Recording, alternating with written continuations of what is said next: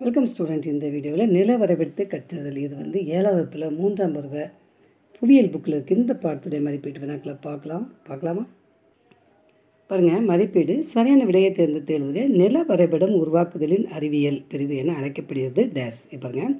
புவியியல் கார்டோகிராஃப்ட் பிசியோகிராபி பௌதீக புவியியல். பாருங்கள் கார்டோகிராஃப்ட் இதை வந்து நீங்கள் என்ன இதில் எழுதிருங்க. இதை ரவுண்ட் பண்ணிடுங்க வடக்கு தெற்கு கிழக்கு மற்றும் மேற்கு ஆகிய நான்கும் டேஸ் திசைகளாகும். முக்கியமான புவியியல் அச்சரேகை கோணங்கள். பாருங்கள் முக்கியமான. இது வந்து நீங்கள் என்ன பண்ணுங்கள் இதில் எழுதிருங்க. கலாச்சார நிலவரை படங்கள் என்பன டேஸ் அமைப்புகளை காட்டுகின்றன. இயற்கையான மனிதனால் உருவாக்கப்பட்ட செயற்கையான சுற்றுச்சூழல். பாருங்கள் மனிதனால் உருவாக்கப்பட்ட. இதை நீங்கள் என்ன செய்யணும்? இந்த டேஸில் எழுதிருங்க. அது பாருங்கள் கோடிட்ட இடங்களை நிரப்புக. புவியியலாளரின் ஒரு முக்கிய கருவியாக டேஸ் அமைகிறது. முதன்மை திசைகளுக்கு இடையே உள்ள திசையில் இடைநிலை டேஸ் எனப்படும்.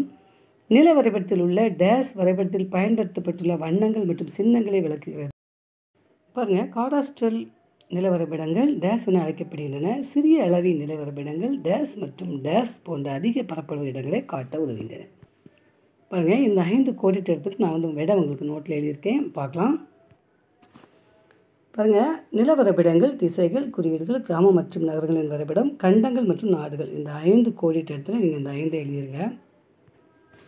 பாருங்கள் பொருந்ததை வச்சு வடகிழக்கு அளவை வடமேற்கு மற்றும் கிழக்கு. பாருங்கள் இதில் அளவை தான் வித்தியாசமாக இருக்குது இது ரவுண்ட் பண்ணிடுங்க வெண்மை பனி உயர்நிலம் மற்றும் சமவெளி. இது வந்து சமவெளிக்கு நீங்கள் என்ன பண்ணுங்கள் ரவுண்ட் பண்ணுங்கள் நில அமைப்பு நில வரைபடம் மண் நில வரைபடம் இயற்கை அமைப்பு நில வரைபடம் மற்றும் நில வரைபட நூல். பாருங்கள் நில வரைபட நூல்.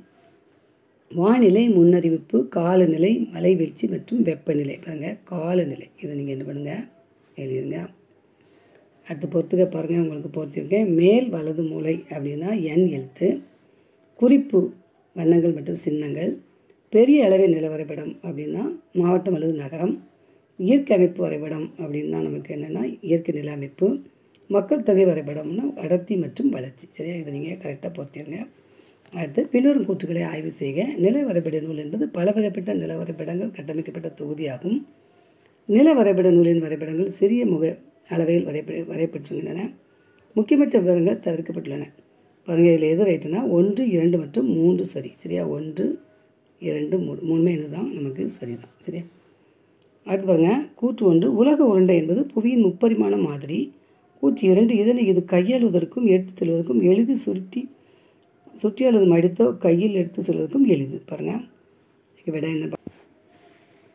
கூற்று ஒன்று சரி ரெண்டு தவறு. இதை நீங்கள் என்ன பண்ணுங்கள் குறிச்சிருங்க. பின்வரத்துக்கு பெயரிடுக பாருங்கள் தட்டையான பரப்பில் பூமியை குறிப்பது நில வரைபடத்தில் உள்ள தூரத்திற்கும் நிலத்தில் உள்ள தூரத்துக்கும் உள்ள விகிதம் தரைவழி மற்றும் சாலைவழி போக்குவரத்தினை காட்டுவதும் குறியீடு வேறுபட்ட நிலவரைபடங்களை உள்ளடங்கிய புத்தகம் நிர்வாக பிரிவுகளை காட்டும் நிலவரைபடம் இந்த ஐந்துக்கு நான் உங்களுக்கு விட உங்களுக்கு நோட்டில் எழுதியிருக்கேன். பார்க்கலாம். பாருங்கள் ஃபஸ்ட் வந்து நில வரைபடங்கள் அளவை சாலை வழி ரயில் வழி நிறை வரைபட நூல் அரசியல் நில வரைபடம். பாருங்கள் இதை நீங்கள் எழுதிருங்க. அது பாருங்கள் பின் விடையளிக்கும் நில வரைபடம் என்றால் என்ன?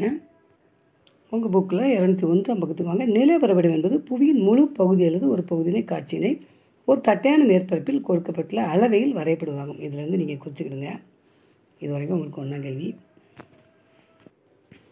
பாருங்கள் கார்டோகிராஃபி என்றால் என்ன? உங்கள் புக்கில் இரநூத்தி மூணாம் பக்கத்துக்கு வாங்க. நில வரைபடத்தை உருவாக்கும் அறிவியல் என்பது கா கார்டோகிராஃபி என அழைக்கப்படுகிறது. கார்டே என்பது நிலவரைபடம் கிராஃபிக் என்பது வரைதல். நில வரைபடத்தை வரைந்து உருவாக்குவர் கார்டோகிராஃபர் அவர். இதுலேருந்து இது வரைக்கும் நீங்கள் வச்சுங்க பாருங்கள் முதன்மை திசைகள் யாவை? உங்கள் புக்கில் இரநூத்தி நாலாம் பக்கத்துக்கு வாங்க. கிழக்கு மேற்கு மற்றும் தெற்கு வடக்கு. பாருங்கள் வடக்கு கிழக்கு மேற்கு மற்றும் தெற்கு. இந்த நான்கு முதன்மை திசைகள். பாருங்கள் நிலவரைபட நூல் என்பது என்ன? பாருங்கள் நிலவரைபட நூல் என்பது பல வகையான நிலவரைபடங்களின் தொகுப்பு புத்தகமாகும். இவை அதிக பரப்பிலான கண்டங்கள் மற்றும் நாடுகளை காட்டும் சிறிய அளவு வரைபடங்களை கொண்டது. மலைகள் பிரதான சாலைகள் ரயில் பாதைகள் மற்றும் முக்கிய நகரங்களின் நிலவரைபட நூல் வரைபடங்களில் முதன்மையாக காட்டப்படுகின்றன. அதிக பரப்பின் புவியியல் கூறுகள் குறித்து அறிந்து கொள்ள நிலவரப்பிடம் நூல் உதவுகிறது. எழுந்து இங்கே இது வரைக்கும் என்ன பண்ணணும்? எழுதணும். பாருங்கள் நில நூலின் வகைகளை குறிப்பிடுக. பாருங்கள் பள்ளி நிலவரப்பிட நூல் மேம்படுத்தப்பட்ட நிலவரப்பிட நூல் பிராந்திய நில நூல் தேசிய நிலவரப்பிட நூல். நிலவரைபடத்தின் பயன்கள் யாவை? பாருங்கள் இதிலேருந்து புரியுங்க. ஒரு இடத்துல நேரில் சென்று பார்க்காமல் நிலத்தோற்று மற்றும் நில அமைப்புகளின் விளக்குகளை தெரிந்து கொள்ள உதவுகிறது. நிலவரைபடங்கள் இராணுவத்தின் திட்டமிடல் பணியில் மகத்தான செயல்களுக்கு முக்கியத்துவம் பெறுகிறது. விமானங்கள் குறிப்பிட்ட இடத்தை சேரவும் கப்பல் கடலில் பாதுகாப்பாக செல்லவும் உதவுகின்றது. நிலவரைபடங்கள் வானிலை முன்னெடுப்பிற்கு பயன்படுகிறது. இது வரைக்கும் நீங்கள் என்ன பண்ணணும்? எழுதணும். அது பாருங்கள் விரிவான விடையளிக்கும் நிலவரைபடத்தின் முக்கிய கூறுகளையாகவே அவற்றை பற்றி எழுதுக.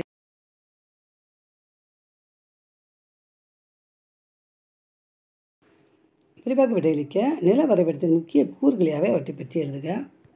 உங்கள் புக்கில் இருந்து நான்காம் பக்கத்துக்கு வாங்க. நில வரைபட கூறுகள் இருக்குது இதுலேருந்து நீங்கள் வந்துடுங்க அப்படி. இதில் வந்து தலைப்பு இதையும் எழுதுங்க. திசைகள். இந்த படம் முடிஞ்சால் வரைஞ்சிருங்க. அளவை. இதுவும் வரை வைக்கணும் குறிப்பு. இது வரைக்கும் என்ன பண்ணணும் நீங்கள் எழுதணும். ஏன்னா பெரிய கேள்வி அப்படிங்கிறனால இது வரைக்கும் நீங்கள் எழுதணும். சரியா? அது நில வரைபடத்தை பிரதித்துவப்படுத்தும் மூன்று வழிகள் யாவை? பாருங்கள் வரைபடங்கள் ஒரு வரைகலை பிரதிநிதித்துவம் ஆகும். உலகம் அல்லது உலகின் ஒரு பகுதி என உலகின் பிரதிநிதித்துவம் வரைபடங்கள் உள்ளன. உண்மையான உலகில் அழுத்தப்பட்ட பாதிப்புகள் ஒரு பெரிய பகுதி நிலம் ஒரு சிறிய துண்டு காகிதம் அல்லது மீண்டும் டிஜிட்டல் ஸ்கோப்பு இடையே உறவு. ஒரு புவியியல் அம்சத்தின் உண்மையான உலக அளவு மற்றும் வரைபடத்தில் அதன் பிரதிநிதித்துவம் பிரதிநிதி அம்சம் அளவு அறியப்படுகிறது. எந்த மூன்றுன்னு பாருங்கள் கிராஃபிக் வாய்மொழி பிரதிபலம் இந்த மூன்று வழிகள் தான் எனது அந்த கேள்வியுடைய ஆன்சர் கருத்தின் அடிப்படையில் வரைபடத்தை வகைப்படுத்தவும். உங்கள் புக்கில் இரநூத்தி மூணாம் பக்கத்துக்கு வாங்க. கருத்தின் அடிப்படையில் பாருங்கள் இதிலேருந்து வாங்க. இது காலநிலை வரைபடங்கள் மண் நிலை வரைபடங்கள் கலாச்சார நிலவரப்படங்கள் அரசியல் நிலவரப்படங்கள் மக்கட்தொகை மக்கள் தொகை பொருளாதார நிலவரப்படங்கள் போக்குவரத்து நிலவரப்படங்கள் கருத்து நிலவரப்படங்கள். அடுத்த பக்கத்தில் பரவலை கொண்டும் இடத்துக்கு மாறுபடுதலை குறித்தும் குறிப்பிடுகிறது இது வரைக்கும் நீங்கள் என்ன பண்ணணும்னா எழுதணும். அடுத்து நிலவரைபடம் மற்றும் புவி மாதிரிகளை வேறுபடுத்தி எழுதுக. உங்கள் புக்கில் இரநூத்தி ஆறாம் பக்கத்துக்கு வாங்க. அதில் இருக்குது நிலவரைபடம் புவி மாதிரி. இதை அப்படியே நினச்சிங்க கட்டம் போட்டு எழுதுங்க. சரியா? அளவின் அடிப்படையில் நிலவரப்படுத்தின் வகைகளை விரிவாக எழுது. உங்கள் புக்கில் இரநூத்தி ரெண்டாம் பக்கத்துக்கு வாங்க. அளவின் அடிப்படையில் நிலவரப்படங்கள். இதிலேருந்து வாங்க இப்படி. இந்த பக்கம் ஃபுல்லாக நீங்கள் என்ன பண்ணணும்? எழுதணும். இது வரைக்கும். இங்கே ஆரம்பித்து இதெல்லாம் வந்து இங்கே முடிக்கணும். சரியா? அடுத்து உயர் சிந்தனை வினா பயணிகளின் முதன்மை கருவி நிலவரப்படம். ஏன்? பாருங்கள் வரைபடம் பயணிகளுக்கு அத்தியாவசிய கருவியாகும். இது திசையை பற்றி சொல்கிறது. நீண்ட கால அளவு உள்ள இடத்தை கண்டுபிடிப்பதற்கு உதவுகிறது. பயணப்பாதையை எளிதாக்கவும் சரியானதை பின்பற்றவும் உதவுகிறது. இதுலேருந்து நீங்கள் எந்த இது வரைக்கும் எழுதணும் பாருங்கள் இந்த நிலவரப்படத்தில் பின்வரும் அமைப்புகளை உரிய சின்னங்கள் மற்றும் வண்ணங்களை கொண்டு குத்து காட்டுக. ஏதேனும் இரண்டு மாவட்டங்களை குத்து காட்டுக. ஏதேனும் ஒரு ஆற்று வழிப்பாதையை வரைந்தெடுக்க ஏதேனும் ஒரு மலையை குத்து காட்டுக. பாருங்கள் உங்களுக்கு எல்லாமே வரைஞ்சிருக்கு. மலை இருக்குது ஆறுலாம் இருக்குது இந்த மாதிரி நீங்கள் நினச்சிங்க மேப்பை பார்த்துருங்க உங்களுக்கு எக்ஸாம் டைமில் உங்களுக்கு பிரயோஜனமாக இருக்கும். கொடுக்கப்பட்ட வச்சுக்கு மரபு சின்னங்கள் மற்றும் குறியீடுகளை வரைந்தெடுக்க கா பாலம் கால்வாய் அணைக்கட்டு கோவில் காடு ரயில்வே நிலையம். பார்க்கலாமா. பாருங்கள் பாலம்னா நீங்கள் சின்ன இந்த மாதிரி வரையணும். அடுத்து வந்து கால்வாய் கேட்டிருக்கு கால்வாய்னா இந்த மாதிரி வரையணும். அடுத்து அணைக்கட்டு அணைக்கட்டுனா அந்த மாதிரி. அடுத்து கோவில். கோவில் அந்த மாதிரி வரையணும். அடுத்து காடு. கார்டன் இந்த மாதிரி மரங்கள் மாதிரி. அடுத்து ரயில்வே நிலையம். இந்த மாதிரி சரியா? அகல ரயில் பாதை குறிய இந்த மாதிரி பாதை வந்துன்னா அந்த மாதிரி ரயில்வே நிலையம் ஆர்எஸ் அப்படின்னு காட்டும். ஓகே ஸ்டூடெண்ட்ஸ் நம்ம வீடியோ வந்து இதில் முடிஞ்சிச்சு. அடுத்த வீடியோவில் அடுத்த பாடத்தில் சந்திக்கலாமா? தேங்க்யூ